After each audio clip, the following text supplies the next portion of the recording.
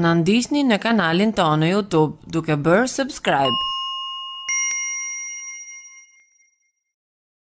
Shkojnë dhe gërmojnë tek teatri i vjetër, shikoni se sa monedha floriri gjetën. Arkeologët po studiojnë qindra monedha të lashta romake të gjetura në vendin e një ish teatri në Italinë veriore.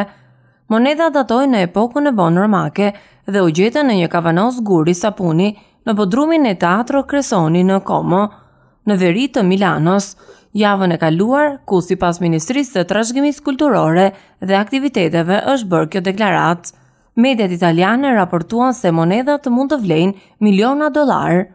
Ne nuk dim ende në detaje për rëndësinë historike dhe kulturore të gjetjes së tyre, por kjo zonë doli të ishte një thesar i vërtetë për arkeologjinë tonë, një studim që më mbush me krenari, ka thënë në një deklaratë Ministri Italian i Kulturës, Alberto Bonisoli. Mediat lokale raportuan se autoritetet tani po planifikojnë të pezullojnë punën për të lejuar gërmime të mëtejshme. Vendi është afër sheshit Novum Comum Forum, një qytet antik ku janë zbuluar objekte të tjera të rëndësishme të periudhës romake.